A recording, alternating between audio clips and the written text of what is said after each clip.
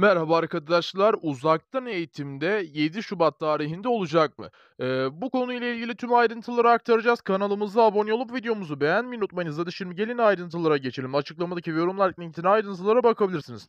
Şunu belirtelim ki uzaktan eğitimin 7 Şubat'ta olma ihtimallerine bakarsak, eee, uzman isimlere göre vaka sayısı Şubat'ın ilk haftası.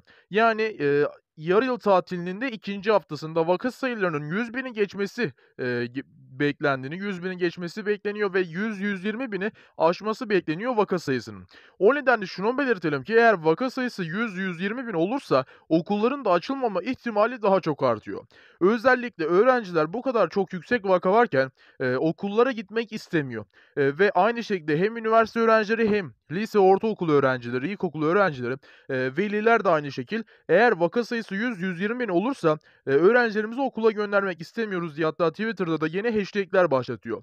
O nedenle şunu belirtelim ki özellikle Şubat'ın 7'sinde yani öğrencilerin 2. döneme başlayacağı tarihte okulların açılmama ihtimali tamamen vaka sayısına bağlı. Yani uzaktan eğitimle açılma ihtimali veya online eğitimle açılma ihtimali tamamen, eee, yine vaka sayısına bağlı. Eğer ki vaka sayısı 100.000'i geçerse bakanlığın masasında da yeni tedbirler var. Hem okullar açısından hem de gündelik hayatımız açısından yeni tedbirler bulunduğu belirtiliyor yapılan haberlere göre.